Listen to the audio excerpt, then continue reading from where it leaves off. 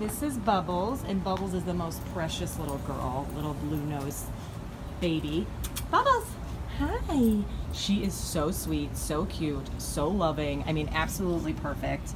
Um, you don't want those snacks? Oh, that was my squeaker. Bubbles, come here. Come here, mommy.